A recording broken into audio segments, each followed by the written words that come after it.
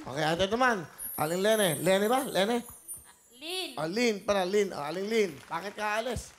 para sa kapakanan po ng mga anak ko, Kuya Will, kasi yung asawa ko nagsasaka. Habang nagsasaka siya, ako tutulong ako mag... Aalis ako pupuntang abroad bas, para makatulong ako sa kanya, Kuya Will. Sa asawa mo. Ilan ang anak nyo? Dalawa, Kuya Will. Isang 8 years old at saka isang 6 years old. Grade 3 po yung panganay ko. Grade 1 yung bunso ko. Ano bang probinsya nyo? Karagara, Leyte, Kuya Will. Kaligara, Leyte. Anong salita niyo doon? Ceb- Cebuano ba? O... Waray. Ah, waray, waray. kayo. Waray. Karigara. Okay. First time maalis. Yes, Kuya Will. Bago magpasko. Bago magpasko, Kuya Will, wala na ako dito. Alis na ako. Bakit mo naisipan umalis? Kasi, Kuya Will, gusto ko makaipon para sa mga anak ko, para sa pag-aaral ng mga anak ko. Kasi kung hindi ako tutulong sa asawa ko, yung mga anak ko, ganun din yung mangyayari sa akin. Sige, pakilala mo na. Sino kasama mo? Pinakikilala ko sa buong mundo ang mahusay ko nga ate, Mana Gina. Hello, Kuya Will! And Kuya Senator Sani. Ang gwapo niyo po. Okay, Ate Gina, ano gusto mo sabihin sa kapatid mo? Ah, Lynn, alam pong mahirap ang pumunta sa ibang bansa para makipagsapalaran. Mag-iingat ka palagi doon. Lagi ka lang magdadasal para gabayan ka ni Lord para maging maayos ang buhay mo doon. Kasi po, Kuya Will, nung nag, nag-message po siya sa akin na mapipili po siya dito sa maglalaro sa Wheel of Fortune. Eh, gusto ko po siyang isorpresa para makita naman po niya yung kahit isang anak niya lang po. Kaya binahay ko po galing Leyte ang anak niya para magkasama po sila bago magpasko. Sige, pakilala mo yung anak mo. Pinapakilala ko ang anak ko galing pang Leyte, si Banban. Hi, Kuya Will. Hi, Ban Ban. Welcome dito sa ano, ha, Wawawin, GMA. Sinurprise pa pala si mama mo. Opo. Ano gusto mo sabihin kay mama mo?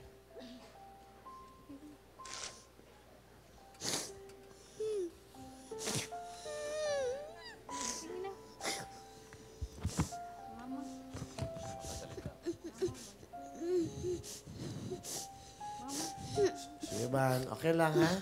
Okay lang.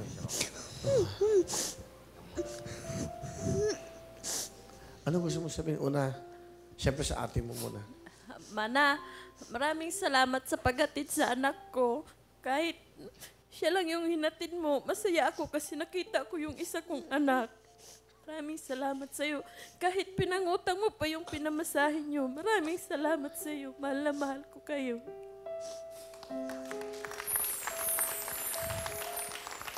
Sa anak mo.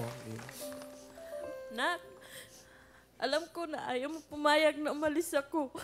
Kasi sabi niya, Kuya Will, Mama, hindi na ba magbago yung isip mo? Lahat nak ng ginagawa ni Mama para sa'yo. Ingatan niyo lang yung mga sarili niyo kasi pag nalalaman ni Mama na may sakit kayo, nag-aalala ako sa inyo. Mahal na mahal ka ni Mama, nak. Oh, mahal na mahal ka daw ni mama mo. Ano gusto mo sabihin? Mahal na mahal din kita, ma'am.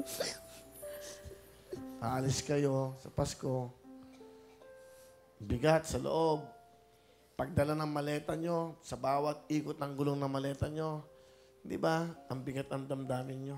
Sa bawat tunog ng maleta nyo, di ba? Di ba? Sakit, di ba? Kasi nga, yung laman ng maletang yon, laman ng pagmamahal sa inyong mga mahal sa buhay. Tama, Di ba? Kuya Will. Napakadakila ng ating mga OFW. Ano, siguro may magagawang mabuti para sa kanila. Sabi mo nga, mas maganda, wala nang umaalis sa bayan natin. Lahat may trabaho. Kailangan ho. Eh, talagang kawawa ang mga pamilya natin pagka ganyan na nangyayari. Kawawa, kamukha niya, no? Kita niyo nag, nagdadamdam yung mga bata. Paano mag, di ba, mag-aaral. Pag nag-graduate, walang sas aakit sa entablado. Hindi kompletong pamilya. Kailangan alagaan natin yung mga anak nila. Tulungan natin.